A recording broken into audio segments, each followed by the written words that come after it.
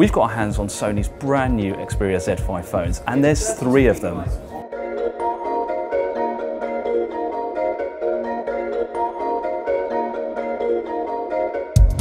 This is the Sony Xperia Z5 Premium and it's the largest in Sony's new range of phones.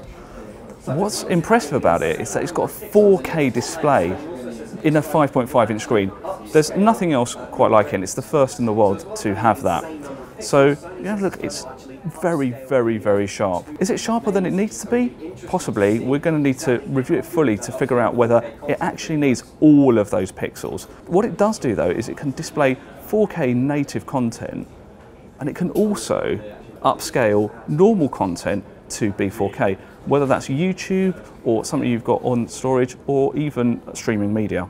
When you look at the design of the Z5, you can see that it pretty much matches every other Xperia phone we've seen since the Z1. So you've got the metal edges uh, with the little corners to absorb impact. It comes with a reflective back cover and that has the same problems that we've seen on similar phones. There's loads of fingerprints. The most interesting thing about the Sony Xperia Z5's design is that it's water resistant and it managed to do this without having annoying flaps that cover the charging or headphone jack. The other new feature is a fingerprint sensor buried inside the power button. It just locks, unlocks the phone and locks it very easily. Sony are making bold claims about the 23 megapixel sensor inside the Sony Xperia Z5's camera. Xperia phone cameras haven't exactly covered themselves in glory, so it'll be interesting to see how good this one is. We'll give it a very quick bash now, but we will need proper testing to figure out quite how good it is. It still takes a very long time to process images, something the iPhone 6 or the Samsung Galaxy S6 actually do very, very quickly.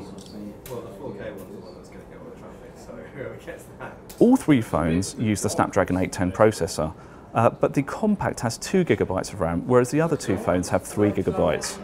Sony claims you'll still get two days of battery life, regardless of the fact that there's a 4K display on this phone. Um, and the two-day battery life runs across the whole of a range. So the Premium comes with a 3,430 milliampere battery, the Z5 with a 2,900 and the compact with a 2,700.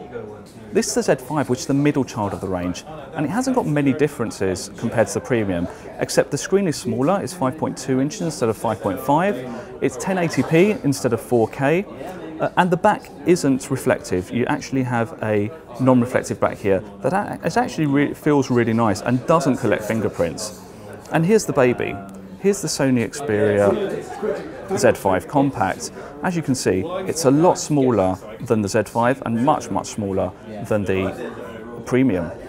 It's got a 4.6 inch 720p screen. It's got one gigabyte less RAM and it's got a slightly smaller battery than the other two.